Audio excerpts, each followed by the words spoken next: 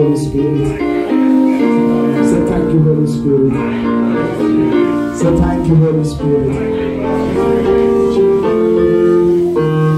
Lord, we bless you.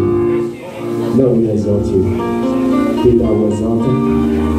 Be thou glorified. Karabush. Zegedebush. Listen to me. There's no time to take testimony now. But I am convinced in my spirit that something wonderful has happened here. Something wonderful has happened. The ones that are sick, God have healed. Jehovah possible have healed. I am sure.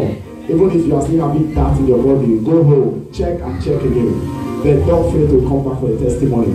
The pain is not there. The pain is not there. Except you did not come out. Anyone that came out here with sickness that I touched, the pain is not here. You are free. You are healed. You are healed. You are healed. As for the one that we're having nightmare, the power of God, your whole body, I'll set it on fire. No demon can possess that body anymore. In the name of Jesus Christ. Lift up your hand and say, Thank you, Father. Say, Thank you, Father. Thank you, Father. Say, Thank you, Father. God bless you. We exalt you. We give you all the praise.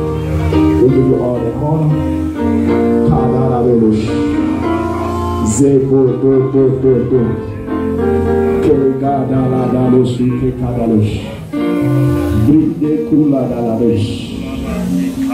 Lord, we bless you.